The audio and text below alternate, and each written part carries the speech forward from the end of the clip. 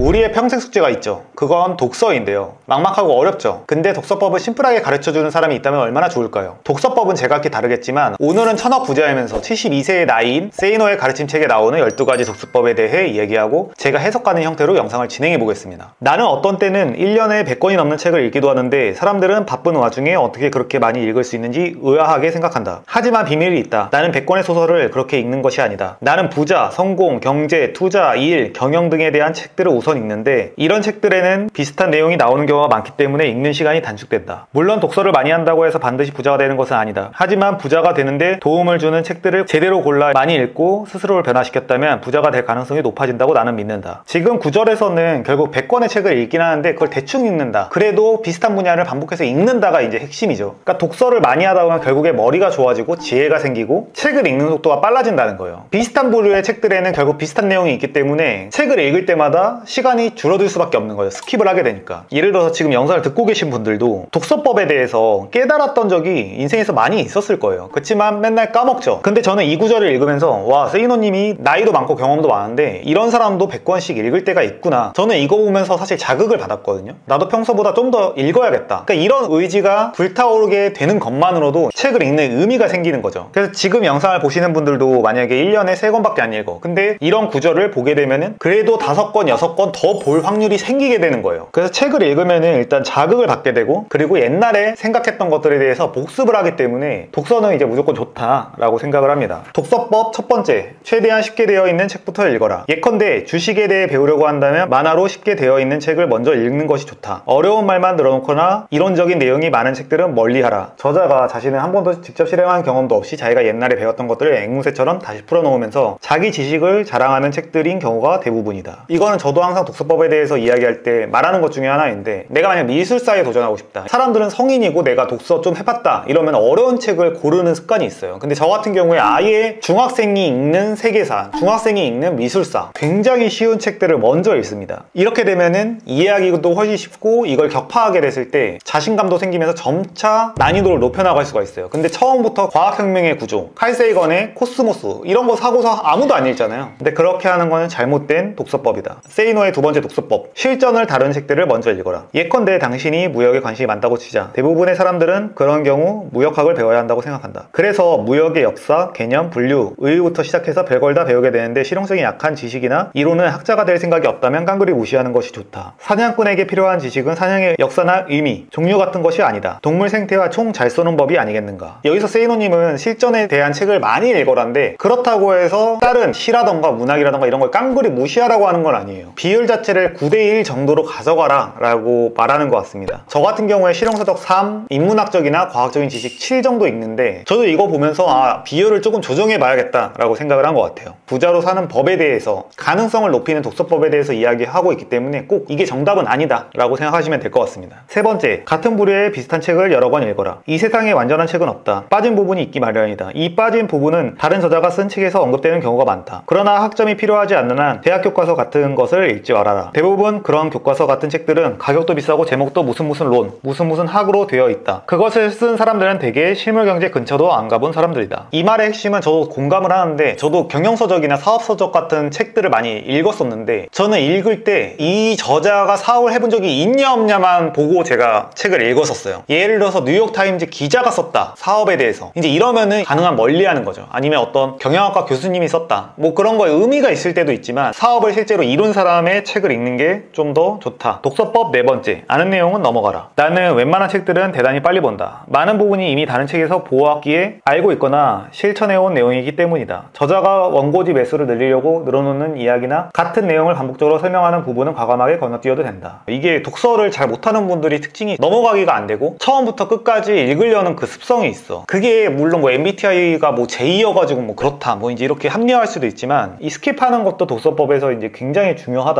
그래서 이제 세이노님은 꼭 한 권을 완벽하게 읽으려고 강박을 갖지 말아라 라는 의미를 이야기하는 것 같습니다. 다섯 번째 외우려고 하지 말아라. 이해하는 데만 신경을 써라. 시험을 치르는 것도 아니지 않는가. 그 어떤 박사라고 하여도 그가 외우고 있는 지식은 CD롬 한 장의 절반 분량도 훨씬 안 된다. 암기가 되지 않는다고 걱정할 필요는 전혀 없다. 실전에서 문제가 발생하게 되면 그 책에서 필요한 부분을 찾아 적용만 시키면 된다. 정보라는 것은 당신이 원하는 내용이 어디에 있는지를 아는 것이다. 옛날에는 이제 이런 외우는 공부법이 이제 굉장히 유행을 했었는데 요즘 수능 같은 경우에도 외우기보다는 사고력, 이해력을 이제 위주로 시험을 보죠. 그래서 책 같은 경우에도 외울 필요가 없어요. 제가 가장 많이 하는 비유 중에 하나가 스쿼트를 할 때 우리가 3세트씩 10개씩 했어. 그러면 총 30번을 했죠. 그러면 다음날 가가지고 아 내가 14번째 동작을 어떻게 했지라고 생각하지 않는단 말이에요. 어차피 운동을 하면 자동으로 근성장이 되게 되어 있어요. 마찬가지로 독서라는 게 잊어버린 것 같지만 모든 뇌 부위를 자극해서 뇌의 근성장을 이제 이루었기 때문에 이거를 굳이 막 외우려고 안 해도 돼요. 여섯 번째 책을 깨끗하게 다루지 말아라. 이것도 이제 독서를 많이 해본 사람들은 사실은 깨끗하게 읽는 경우가 없어요. 깨끗하게 읽는다는 것 자체가 이 책에 대해서 너무 강박적인 성향을 갖고 아껴본다는 거기 때문에 근데 책은 아껴볼 필요가 이제 없는 거죠. 오히려 너무 깨끗하게 책을 읽는 사람들 같은 경우에 일부러 더럽혀보는 행동을 해서 강박을 깨보는 것도 좋은 것 같아요. 이게 너무 아끼게 되면 독서가 일이 되고 약간 불편한 감정이 발생할 수 있기 때문에 어쨌든 결론적으로 독서를 많이 하는 사람들 중에서 깨끗이 보는 사람은 되게 극소수다. 여덟 번째 독서법. 저는 이게 제일 좋았는데 짧은 기간에 한 분야에 대한 책 들을 몰아서 읽어라. 교과서가 아닌 이상 무슨 책이든 2, 3일 안에 끝장을 내야 전체 맥락이 잡히는 법이다. 예를 들어 경매에 대하여 공부하고자 한다면 적어도 다섯 권 정도를 단기간에 읽어나가야 경매가 뭔지 알 수 있다. 그 2, 3일 기간 동안은 잠도 좀 줄이고 만사를 제쳐라. 외출도 하지 말라. 오직 그 책들에 집중하라. 시간이 없어서 6개월 동안 찔끔찔끔 나누어 하겠다고 가장 미련한 독서법이다. 6개월 후 당신은 여전히 아마추어로 남아있을 것이다. 저는 이 부분이 너무 좋았고 제가 어릴 때 하던 독서법인데 요즘은 약간 거만해져가지고 이제 이렇게 못했던 것 같은데 찔끔찔끔 읽는 게 저는 좋다고 보지만 만약에 한 분야를 파야 된다. 뭐 비트코인을 파야 된다. 사업에 대해서 공부를 처음 해야 된다. 아예 5일 정도를 전체를 비우고 5일 동안 완전히 몰입해서 그쪽 관련된 경영 서적만 보는 거 이렇게 하게 되면 훨씬 더 이해 수준 자체가 높아질 수 있겠죠. 그래서 만약에 한 분야의 전문가가 어느 정도 돼보고 싶다. 찔끔찔끔 30분씩 10분씩 읽는 것도 좋지만 안 하는 것보단 낫지만 만약에 제대로 해야 된다. 그러면은 5일 내내 한 분야만 여러 권의 책을 몰아봐라. 이 부분 너무 좋았습니다. 아홉 번째 틈나 는 대로 읽어라. 별도로 독서 시간을 정해 놓기보다는 시간이 생길 때마다 책을 펼치는 습관을 가지는 것이 좋다. 버스나 지하철에서 멍하니 앉아있거나 휴대폰을 두드리며 게임에 몰두하지 말고 항상 책을 갖고 다녀라. 패셜쇼에서 모델들이 자기 순서를 기다리는 동안 그동안도 책을 볼 수 있다. 이렇게 하루 5분이면 1년이면 30시간이 된다. 요즘 제가 하는 것 중에 하나는 밀리의 서재를 보는 거예요. 밀리의 서재는 구매에 대한 부담감도 없고 가볍게 읽을 수 있는 책들이 많거든요. 짬나는 시간에 밀리의 서재를 조금씩 본다면은 일상생활에 자신감도 생기고 나는 남들처럼 릴스나 쇼츠만 보는 사람이 아니라 나는 이렇게 독서하는 사람이야 라는 정체성도 가질 수 있고 아이디어도 많이 나오게 되고 너무 좋은 것 같아요. 10번 경제적 성공을 원한다면 정치인들에 대해서는 관심을 끊어라. 여기서 하는 말은 결국 정치에 대해서 백날 관심을 가져봤자 부자가 될 수 없다. 이제 이거인데 제 생각에도 정치에 뭐 한 뭐 10분의 1, 100분의 1 정도의 시간을 관심을 갖는 것 자체는 그냥 좋은 것 같은데 이것도 이제 게임에 불과한 거죠. 그래서 제가 이제 역행자라는 책에서도 이야기했듯이 이런 너무 정치에 몰입해서 이거에 자아를 투영해버리면은 본인 일부터 뭔가 열심히 한 다음에 조금씩 관심을 가져야 되는데 이게 주객전도가 되면서 자기 인생을 갉아먹게 되고 자기가 지게 되면 우울해지고 그래서 정치인에 대해서 관심을 갖는 게 지적인 행위라기보다는 유희라고 좀 생각을 하고 자기 일에 좀 더 집중을 해야 된다. 11번 일 잘하는 법에 대한 책들을 최선적으로 찾아내 반드시 읽어라. 수많은 사람들이 전화 받는 방법도 제대로 모른다. 이미 알고 있다고 조직 내에서의 전화 응대법에 대한 내용을 읽게 되면 생각이 바뀔 것이다. 나는 수많은 메일을 받는데 예의를 갖춰 쓴 것들은 얼마 되지 않는다. 여기서 말하고자 하는 바는 전화를 받았을 때 어떻게 해라라는 막 그런 책들이 있잖아요. 뭐 메일은 이렇게 써라 이런 책들. 그런 책들이 이제 금방 읽기 좋은 되게 단순한 책이긴 한데 이 작가가 어쨌든 저보다는 많이 고민했단 말이에요. 그래서 거기서 말하는 제목을 어떻게 쓰고 첫 문장을 어떻게 쓰라라는 걸 많이 배웠어. 그러면 그걸 전적으로 막 다 외워서 응용할 수는 없겠지만 아 제목이라는 거는 어떤 원리를 갖고 있구나. 전화를 받을 때는 이렇게 하면 상대방이 좋아할 확률이 높아지겠구나라는 어떤 틀 자체를 갖게 되면은 인생을 살아가는 데 있어서 좀 더 신경을 쓰게 되고 좀 더 이거를 발전시키려고 하거든요. 근데 방법이 없다라고 인식을 해버리면은 결국에 아무런 발전이 일어나지 않게 되는 거죠. 그래서 제가 항상 심리학 책이나 이런 걸 추천하는 것 중에 하나가 심리 지식을 많이 알게 되면은 일상생활을 하면서 점차 이 틀이 생기고 여기에 지식이 붙어. 근데 그냥 살아가게 되면은 심리적인 지식이 전혀 늘지 않으면서 지혜가 안 갖춰지게 되는 거죠. 그래서 저는 추천하는 책들이 대부분 어떤 안경을 씌워주는 지식의 틀을 가져다주는 책만이 좋은 책이다라고 생각을 하는데 이제 이 부분도 약간 비슷한 맥락인 것 같습니다. 마지막 주제는 자주 책방에 들러라. 읽고 싶은 책이 나타나면 읽을 시간이 당장은 없어도 우선은 구입하라. 한국에서는 책이 몇만 권만 팔려나가도 베스트셀러 축에 들어간다. 그러나 지독히도 책을 안 읽는 풍토 때문에 수많은 좋은 책들이 초판 3,000부도 안 팔린 상태에서 사라져간다. 자, 당신이 그렇게 사라지게 될 책의 3,000권 중 한 권을 입수하여 읽었다고 치자. 그 사실이 무엇을 의미하는지 아는가?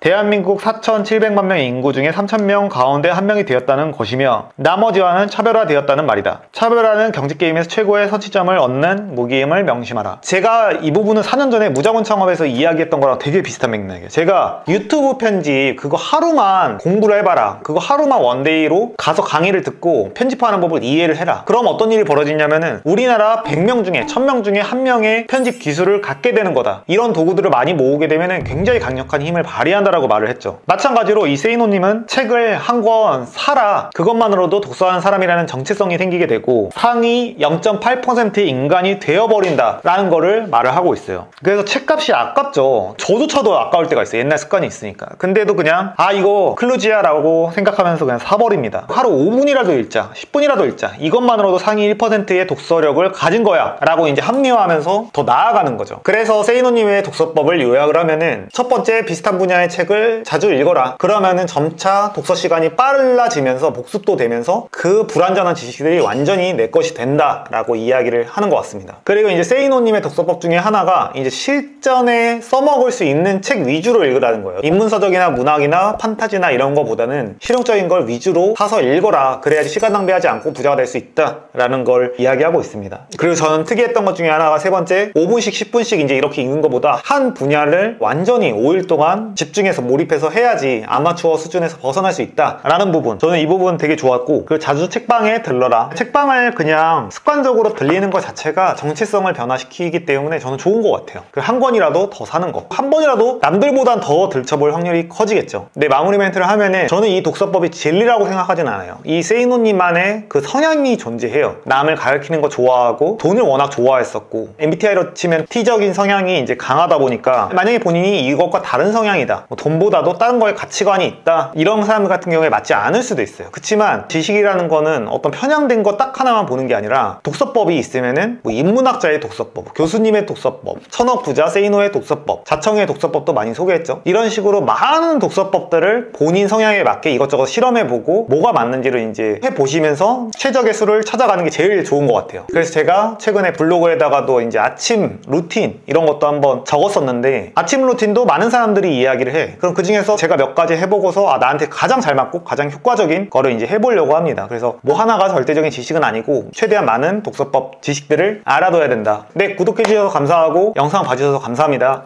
자청이었습니다